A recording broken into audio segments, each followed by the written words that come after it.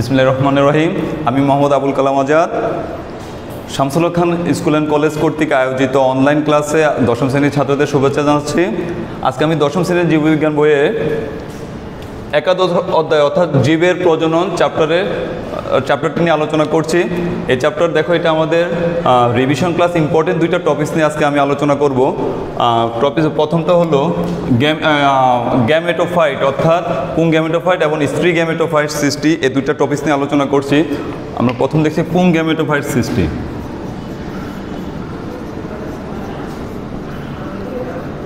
পুং gamete সৃষ্টি? এটা আমি একটা চিত্র আঁকছি আগে।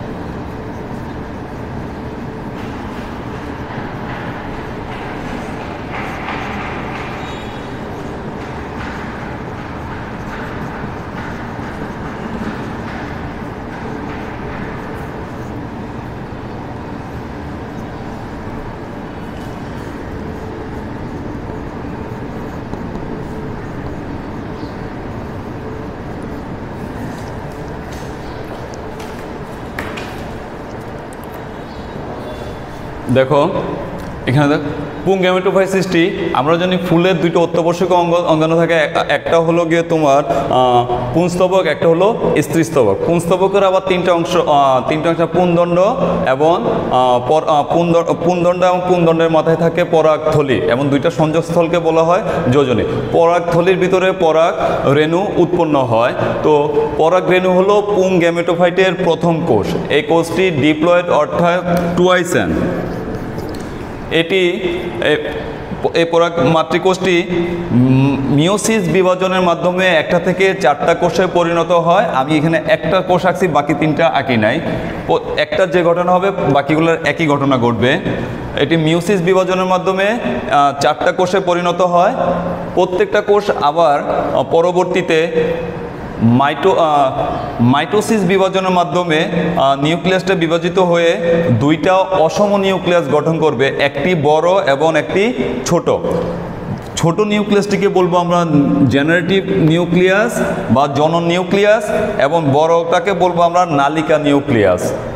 দেখো, এবং এই কোষটার দুইটা অংশ থাকে দুইটা প্রাচীর থেকে একটা অন্ততক, একটা হলো বহিতক, এবং বাহিতকটা দেখো অনেকটা কাঁটাযুক্ত মনে হচ্ছে, এবং এদের মাঝখানে একটা ছিদ্র থাকে, ছিদ্রটাকে বলা হয় জাম পোর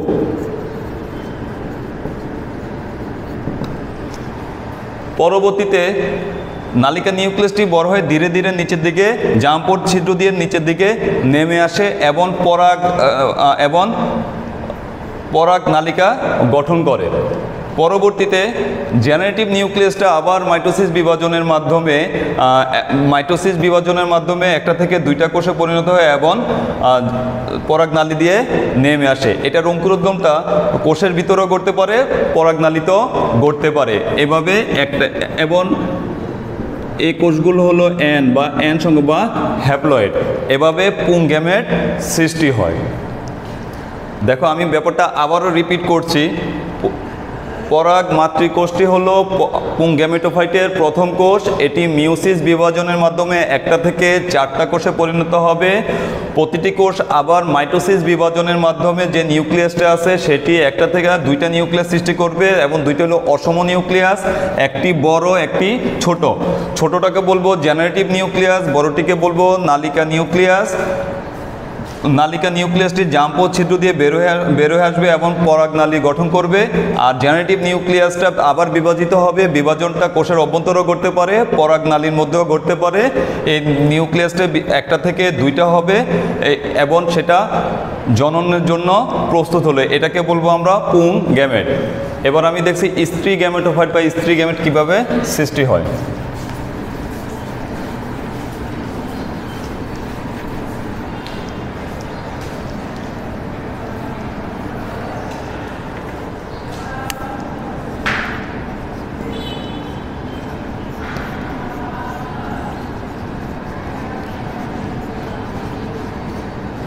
আমি চিত্রটি এঁকে নিচ্ছি তোমাদের জন্য বুঝতে সুবিধা হবে।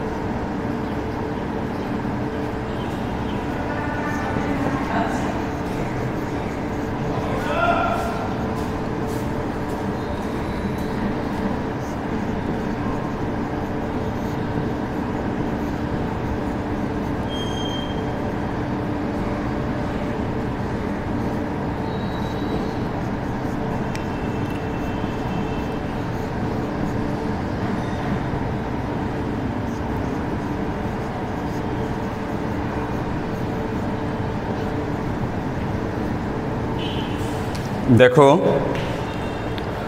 স্ত্রী গ্যামেটোফাইট সৃষ্টি ভ্রূণ পোষক কলার ডিম্বক্রন্থের কাছাকাছি একটা কোষ প্রথমে আকারে বড় হবে। সেটা মিউসিস বিভাজনের মাধ্যমে একটা থেকে চারটা কোষে পরিণত হবে। এই প্রক্রিয়ায় তিনটা কোষ নষ্ট হয়ে যাবে এবং একটি আকারে আরেকটু বড় হবে। এই কোষটার পরবর্তীতে এই কোষটা মাইটোসিস বিভাজনের মাধ্যমে একটা থেকে দুইটা কোষে পরিণত হয়ে একটা নিউক্লিয়াসে দুইটা নিউক্লিয়াসে পরিণত হবে এবং নিউক্লিয়াস দুইটা দুই বিপরীত মেরুতে চলে যাবে। পরবর্তীতে দেখো ক্রমাগত মাইটোসিসের মাধ্যমে একটা থেকে দুইটা এবং দুইটা থেকে চারটা, উভয় মেরুতে চারটা চারটা করে মোট আটটা নিউক্লিয়াস সৃষ্টি হবে। উভয় মেরু থেকে একটি করে নিউক্লিয়াস কেন্দ্রে আসবে এবং একত্রিত হবে। এবার এখানে যে দেখো আটটা কোষ পরিণত হলো, আটটা কোষের পরিচয় দেখো। ডিম্বক্রন্থের বিপরীত পাশে ডিম্বক্রন্থের বিপরীত পাশে কোষ তিনটিকে বলব আমরা প্রতিপাদ কোষ। মাঝখানে কোষ দুইটাকে বলব আমরা গৌণ নিউক্লিয়াস। এবং নিচের দিকে মাঝখানে যে নিউক্লিয়াসটা থাকবে, সেটি হলো ডিম্বাণু। দুই পাশে দুইটাকে বলব আমরা সহকারী কোষ। এভাবে ডিম্বা স্ত্রী গ্যামেটোফাইট সৃষ্টি হয় এবং ডিম্বাণুটা তৈরি হবে এটা নিষেকের জন্য প্রস্তুত হবে। তাহলে চিত্রের সাথে আমরা প্রথম আবার দেখি, ভ্রূণ পোষক কলার ডিম্ব ক্রন্ধের কাছাকাছি। এখানে একটা জিনিস সবাই ভুল করে, দেখো।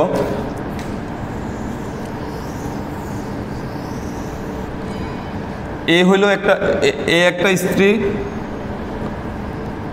সরি একটা ফুলের স্ত্রী স্তবক আঁকা হলো। এইটাও একটা স্ত্রী স্তবক আঁকা হলো। তো এইখানের মধ্যে দেখো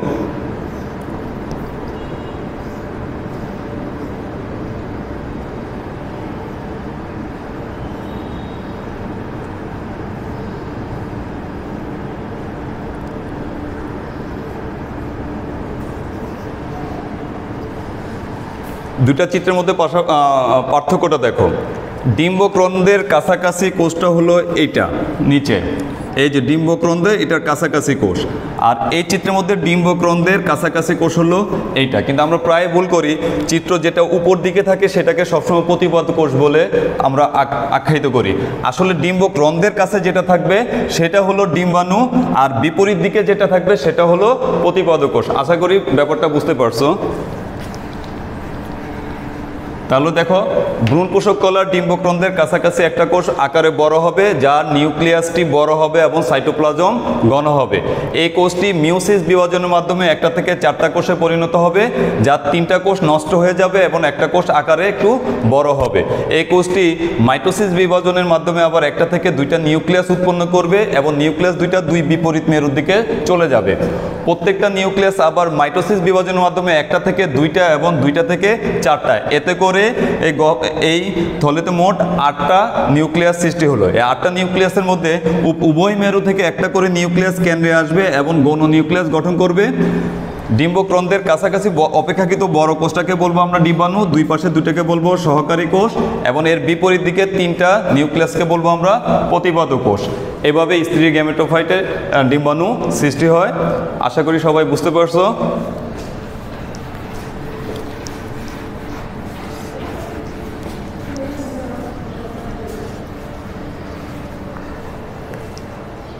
দেখো, এই ক্লাসে দেখো, এই চ্যাপ্টার থেকে আমরা মোটামুটি গুরুত্বপূর্ণ যে টপিকস দুইটা পরীক্ষা আসে সে দুইটা নিয়ে আলোচনা করছি।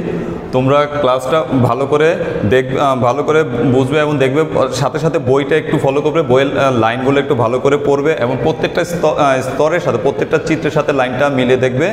তাহলে খুব সহজে বুঝতে পারবেন পরীক্ষায় লেখার সময় ব্যাপারগুলো মনে থাকবে। তো আজকে এই পর্যন্তই সবাই ভালো থাকো, ধন্যবাদ সবাইকে।